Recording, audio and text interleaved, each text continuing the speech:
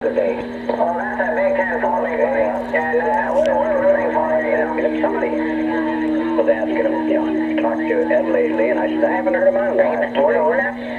And then Vince told me he talked to you last night, so I said, well, he's okay. Yeah, give us a about dirt there, but I just wasn't there.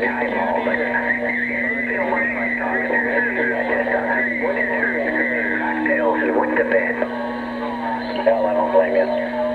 That's what I'm going to do right now. Not go to bed, but I'm going to sit back and have a cocktail.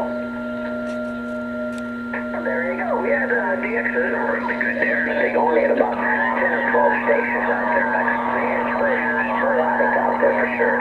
Anyway, good to hear you. Uh, I'll see you later. Uh, don't take oh, and we'll sit back here and play the radio till the wall maker starts.